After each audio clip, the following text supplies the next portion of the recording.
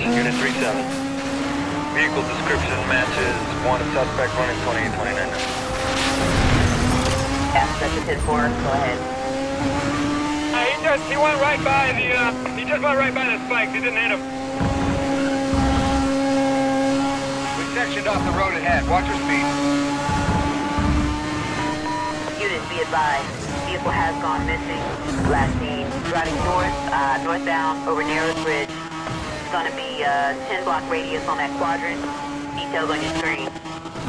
Uh, consider this still a code 6 call. Dispatch car uh, 30. Gavis in the quadrant now. All is fine.